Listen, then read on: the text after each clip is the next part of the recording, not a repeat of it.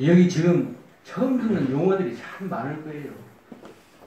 한 번도 안 해보세요.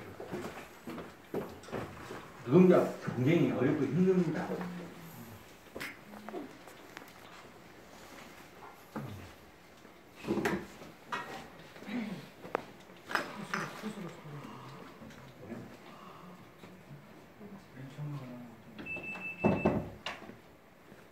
자, 우선 이거 한번, 이거부터 먼저 한번 보시죠.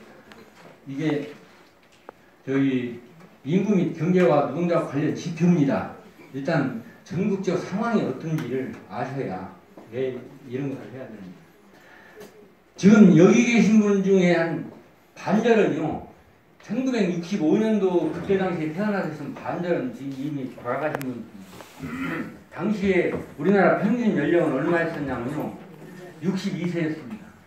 지금은 기대수명이 83세입니다. 앞으로 그, 저기 어르신 같은 경우는 한 30년을 더 살아요. 아니 근데 그거는 내가 살고 싶다고 해서 죽고 싶다고 해서 죽어지지 않, 자살하지 않는 한 살아진다니까요. 그러니까 지금까지 세웠던 모든 계획은 다 그 별로 의미를 못 갖습니다. 그래서 매일매일을 미래를 미래를 보고 살아가야 된다. 젊은이들은 미래를 보지 말고 노인들은 미래를 봐야 된다. 과거는 다 잃어버리시고 지나간 건 싸그리 잃어버리시고 오히려 반대 된다고 생각해요. 자, 우리 우리나라 인구 지금 저출산 고령화라고 하죠. 네. 여기서 돈 받고 애 낳고 싶은 저, 저, 여자분들 계세요? 네.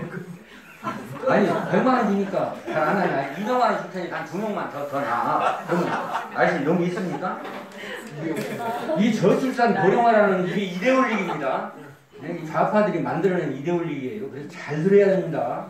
그냥 듣다 보면, 아, 그래. 아, 인구수가 없으면 앞으로 어, 우리나라 망할 거야. 한편, 그, 그 말도 맞아요. 네, 근데 망하지 않습니다. 아주 하나님은 참 묘하게 인간을 배치해놔가지고요. 지금 전 세계의 인구는 나무 돌아갑니다. 어, 제가 중학교 다닐 때 그때 30억 인구가 채 안 됐어요. 근데 지금 72억입니다. 우리 지구촌에. 우리나라 인구가 지금 5,100만이에요. 북한까지 합치면 2,400만 되니까요. 7,500만 됩니다. 영국이 얼마인지 아세요? 저는요, 우리, 우리나라가 할 수만 있다면 이제 가난을 극복했네 이런 얘기 그만하고요. 나는 영국과 같은 나라가 더 영국은요, 지금 52개 국가가 연합해 있는 나라입니다. 영연방 자치입니다. 네. 인구가 얼마인지 아세요? 영, 영국이라는 이름을 쓰고 있는 나라들의 이름이 아, 인구가 23억입니다. 왜 그러냐면 영연방 중에 가장 큰 나라가 인도예요. 네. 인도가 영연방, 캐나다가 영연방입니다. 호주가 영연방이에요. 네? 뉴질랜드는 물론이고. 네. 그렇습니다. 52개 나라가 그냥 자기들끼리 물건을 얼마든지 팔고 그냥 뭔 일 일어나면 그래 너 아파? 어, 우리 의사 보내줄게 한다니까요. 네, 그 같은 식구라니까. 지금도 이게 해가 떨어지지 않는 지구상의 유일한 나라 500년을 1500년도부터 500년을 동양 및 서양까지를 저는 지배하고 싶어서 그런 게 아니, 아니라요. 그렇게 쭉쭉쭉 뻗어가는 나라가 됐으면 좋겠다 이런 뜻입니다. 무슨 뭐 세계 11위 경제 대국이니 한게 이게 그런 얘기 그만했으면 쓰었어요. 남들이 들으면 쪽팔리다고 그래요. 진짜 쪽팔리는 얘기입니다. 그것도 우리 힘으로 다 이룬 것도 아니에요. 미국하고 잘 협력해서 네? 보태주니까 그리고 전쟁비용 그쪽에서 부담해 주니까 그나마 그만큼 이룬 나라예요. 그런데 지금 미국 물러가라면서요. 그러니까 전 세계에서 이렇게 정말 싸가지 없는 민족. 문재인 이외에는 싸가지는 잘 모르시죠? 아니 좌파만 싸가지가 없다고 해야지 왜 우리 전체를 민족을 싸가지 아니 본인이 싸가지 있는 사람이면 그건 세계에서 들으세요. 귀는 두 개가 틀렸습니다. 나한테 한 소리가 아니구나. 이렇게 들으시면 되지. 양이 자칫 잘못하면 양심이 찐인이라고 하니까 저는 그렇게 말을 하니까요. 아닙니다. 우리 민족을 그렇게 말씀하시면 안 돼요. 아니요.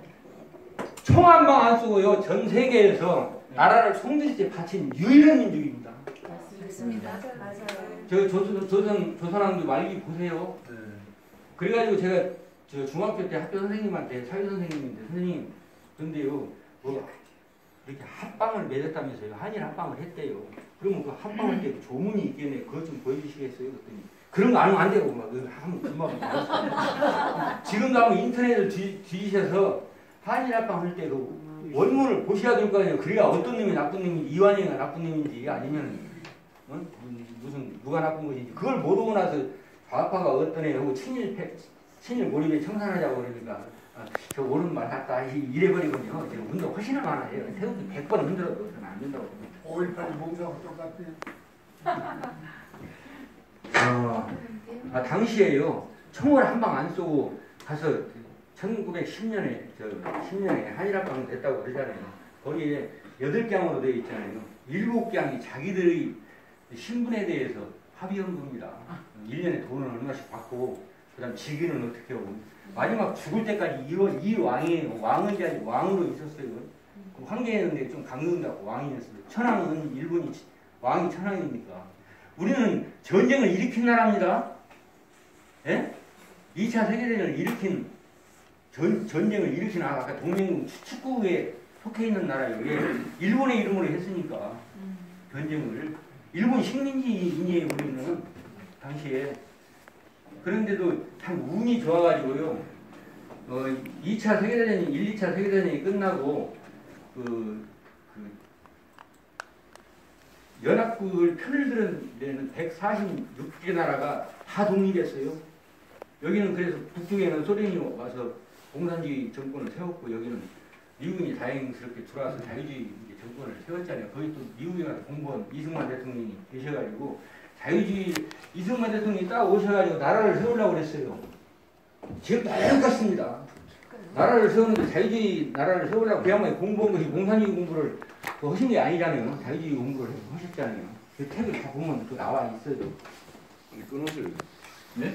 그럴까요? 그런데 오셔가지고 자유주의 국가를 세우려고 그러는데 야 국가를 한번 세우자 자유주의 국가. 그러니까 자유라고 써놓는다고 해서 자유주의 국가가 되는 것이 아니잖아요.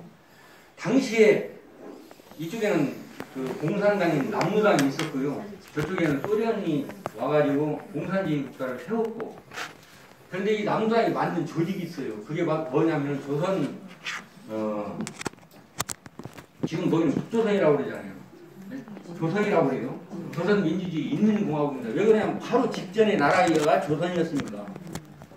마지막에 조선이 1876년에 뭘로 바뀌냐면은 나라 이름을 대한제국이라고 바꿔요. 대한제국에서 제자만 빼고 대한민국으로 거예요. 남쪽.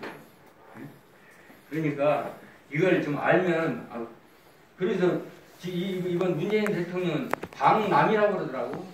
이 방한이 아니요. 여기 한국 우리나라에 외국 사람이 오면은 방한 거기에 적절한 조치를 취해줘야 돼요. 외국 저희 이북 사람이 이번에 왔는데 방남이라고 그러대. 방남.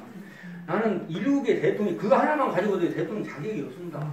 그리고 저는 어, 지난번 선거가 보궐선거라고 생각하거든요. 보궐선거에서 또 헌법에 의해서요 다 있어요. 65세도 있고 84세도 있고 다 있어. 그 그거에서 공직선거법에 의해서 치러진 선거인데 이게 보궐선거예요. 지금 현직 대통령이 유고 시에는 선거를 치르는 그 자체 이름이 보궐선거예요. 그런데 보궐선거는 전인자의 자녀 임기를 하도록 돼 있어. 그래서 2월 25일이 딱 끝나는 그날 0시까지 나는 대통령이라고 문재인 대통령이라고 그러던데 그때도 대통령이 나는 아니다. 내 마음속에 그건 내 자유예요. 20, 26일부터는 너는 대통령 아니야. 저는 문재인 씨가 이 나라 대통령이라고 절대 생각을 안 해. 참칭하고 있다. 나라를 참칭하면요. 재판도 필요 없습니다. 네? 재판이 필요 없어요. 참칭한 사람은 갖다가 그냥 폐지해버리든지 이- 이러는 것이 원칙이라니까요. 아니, 아멘. 여쪽제. 어, 여족제가 그런 거예요. 그러니까 뭐 우리 좀 너무 힘들게 하지 말고 아무튼 나라를 참칭 그- 그래서 북한 같은 데는 참칭했잖아요. 자기가 이, 이- 여기를 딱 점령해가지고 그러니까 그 사람들은 무슨 형수 보내고 그러는 것이 아니라 이게 어떤 정상적인 상태가 오면요 너- 너들은 그냥 어, 나라를 이- 이렇게 하고 딱 처리하면 되는 것이 아, 시간이 많이 됐죠. 야, 결론도 안 들어. 5,169명 중에서 일을 해 갖고 먹고 산다고 그랬죠. 그래서 15세 이상 인구를 에, 이렇게 이제 항상 내요. 그게 4,371만 명. 그 중에 이제 경제 활동을 하는 사람, 이 교도소에 있는 사람은 경제 활동 못하지 않은 이 사람은 뺍니다. 예, 군인 경제 활동 못하지 않은 그래서 뺍니다. 65세 이상 넘으면 빼요. 일을 못한다고 이렇게 생각을 해요. 그것도 틀린 얘기인데 그런 얘기까지는 않겠습니다. 그게 2,724만 명이에요. 예, 그래서 지금 이제 취업하고 있으신 분은 2,623만 명이고, 그 다음에 실업자가 여기 저희 천만 명, 천 명이니까 천만, 십만, 백만, 백만 명입니다. 실업. 그래갖고 이제 율은 이것 나는 이것 하면 이제 율이 나오는 거예요. 60세 이상 경제활동 인구는 그냥 60, 여기도 지금 일하시는 60세 이상의 교신원분이 계신데 일을 해야 된다. 죽을 때까지 땀 흘리라고 아까 저희 선악과 땀 흘리는 뒤로 땀안 흘리고 버릇만 들어서 난 살겠다 그러면 그 계율을 어기는 겁니다. 그러니까 끝까지 일을 하세요 그냥. 집에 가서 할 일 없으면 마당에라도 쓰고 마당은 없지만 그 어쨌든 400만 명이 지금 이 일, 일선에서 일을 하고 계세요. 그런데 아까 이 노동조합이라고 하는데 그 지금 건너뛰어서 이게 자꾸 넘어갔는데요. 이승만 대통령이 자유주의 나라를 세우려고 하다 보니까 당시에 조선 노동조합 전국 평일이라고 있어요. 그걸 이름하여 전평이라고 그래요. 그게 딱 가로막고 있는 거예요. 그래서 이걸 깨부수지 않고는 그러니까 역시 나라를 설계하는 사람과 그 후에 국민들이 투표해갖고 대통령 있는 사람은 바라보는 시각이 다릅니다. 그래서 앞으로 무슨 어 저기 무슨 보수 정당의 사람을 잘 뽑아갖고 그 사람이 대통령 되면 이게 달라질 거다 저는 그렇게 안 봅니다. 그래서 이, 지금 이, 이 자유노총이 없이는 우리나라의 강건 미래가 안 되는. 그게 전평이 있었는데 전평이 대구 폭동도 일으켜요. 근데 문재인 대통령이 그저께 가서 2월 28일에 거기 가서 축사를 했어요. 그게 228입니다. 그래야 국가 기념일로 했대요. 국가 기념일로. 국가 기념일로 만들 수 있어요. 법으로는. 그래서 이제 대구에 그 참여했던 학생 1000명, 그 가족까지 다 저기 유- 유공자다 이렇게 해가지고 이제 앞으로는 유공자 숫자가 확 늘어나볼 거예요. 여러분들 세금으로 세- 갖다 주시면 돼요. 남 돕기 좋아하잖아. 남 돕기 좋아하잖아. 이거 막 도와주세요. 세금을 진짜 어, 그거 발표해버렸어요. 이게 2월 28일. 컬링만 볼 게 아니라.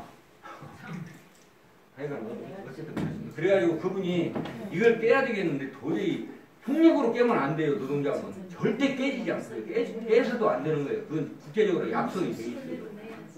왜 그러냐면 결사의자도 있는데 거기다가 노동조합이라는 특 별한 법을 만들어서 노동조합 법이라는 법을 만들어서 특별히 보호하고 있어요. 그렇게 하지 않으면 자유주의가 유지가 안 되기 때문에 그렇게 한 거예요. 자유가 유지가 안 돼요. 의미는 그렇습니다. 그래서 자유라는 의- 의미를 제대로 살려나가려면 노동조합을 깨면 안 됩니다. 그것에 대응할 수 있는 조직을 만들어야 돼요. 그래서 이 전평을 깨가지고 대한 독립 촉성 어, 전, 그 다- 단체를 만들어내요. 그, 그러고 나서 나라를 세웁니다. 다시 한번 말씀해 주세요. 전평에 반대. 전평에 대한 독립 촉성 아 대한 독립 촉성 그게 이제 한국 노총이라는 거예요. 한국 노총 찾아보면 쭉 연연 연연 나와요. 이렇게 촉 여기 저기서. 네. 그 촉, 촉, 촉성. 대한 노총 이렇게. 그런데 그게 그, 그 사람들이 여기저기 이렇게 뭐 지금도 올라다니잖아요. 대구에서 집회도 오고 막 저쪽 강정마을에 사는 분들이 나와서 집회하는 거 봤어요? 네. 아, 봤어? 아니. 강, 강정마을 사는 사람들? 아니 거기, 아 근데 보니까 거기 신규들도 나오고 그 친구가 강정마을 사람 아니에요? 전라북도 전주에 사는 사람. 그리고 저기 민주노총이 깃발이 거가 있잖아요. 오키나와 가서 데모잖아요. 네. 민주노총 전교조 이 깃발 들고 다 일본 사람들이 지난번에 여기 집회 많이 나왔습니다. 왜 왔겠어요? 그, 그 잘하셔야 됩니다. 저기 여기 의정부 사시는 분. 안 계십니까?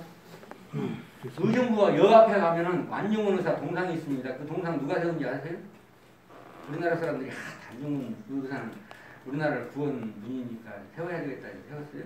중국 사람이 데려온 겁니다. 잘하셔야 돼요. 진짜로 이거 그냥 무조건 대충 대충 알았다가는 이거 큰일 납니다. 자식들한테 꼼짝없이 당하게 돼 있고. 제가 그것 갖고 지금 얘기 하려고 해도 두 시간 반 있는데 아무튼 이거 지금 노동자입니다. 선택 어, 그래- 그래가지고 이게 세워진 나라예요.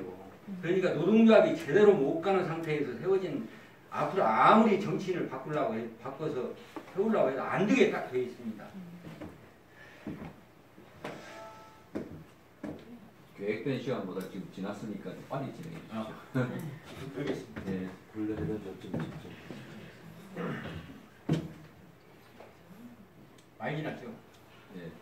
원래 6시까지 있는데 6시 10분이. 저희걸 그래서 이- 이거 좀 올려주세요.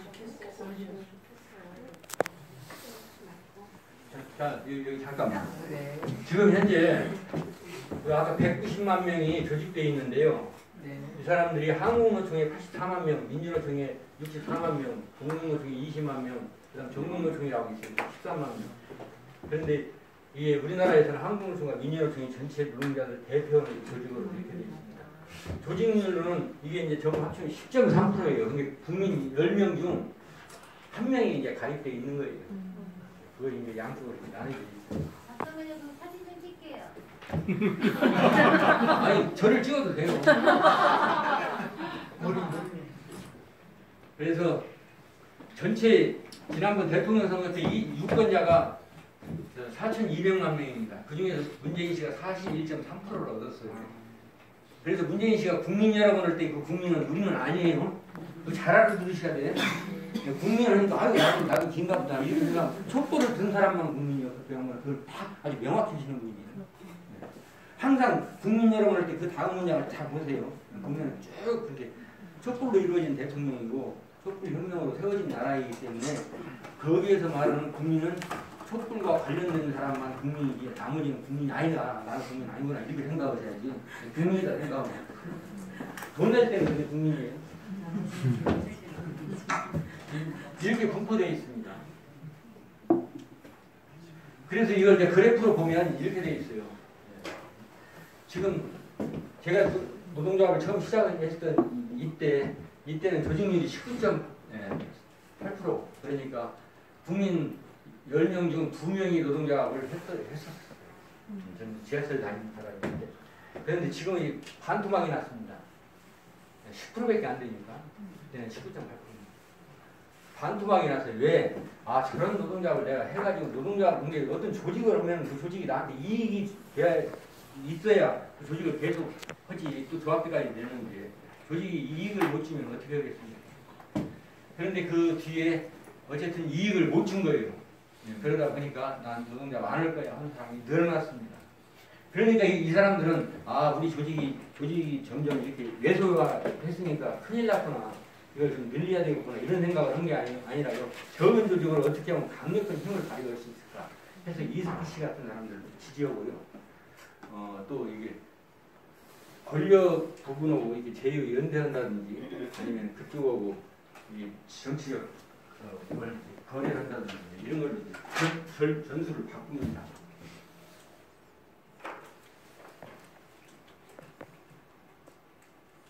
자, 아까 제가 여쭤봤는데 근로자 아니신 분 계십니까? 그랬어요. 그랬더니 어, 없다 이렇게 말씀을 하셨는데 우리 헌법 제10 이게 헌법은 이렇게 되어 있습니다. 어, 뭐, 내용적으로 잘하는데 해석은 잘못해요.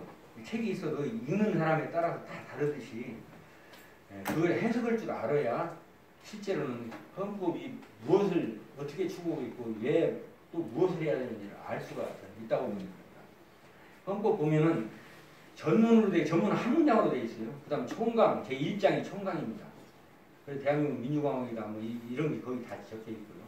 그 다음에 제 2장이 있어요. 2장이 국민의 권리와 의무야. 이 땅에 사는 사람은 이런 권리가 있다. 또 권리는 의무를 수반하게 되어 있습니다. 의무 없는 권리도 있어요. 권리 없는 의무도 있을 수 있고. 그런데 이 땅에 사람 최소한도 이런 의무는 해야 된다. 그걸 이제 4대 의무 이러잖아요. 그 중에 하나가 근로의 의무. 이거 가만히 있어. 이거, 이거 내가 이거 좀 보여주면서 해야 되는데 참 이, 이거 이것이 안 다루죠. 이게 시간만 가지고.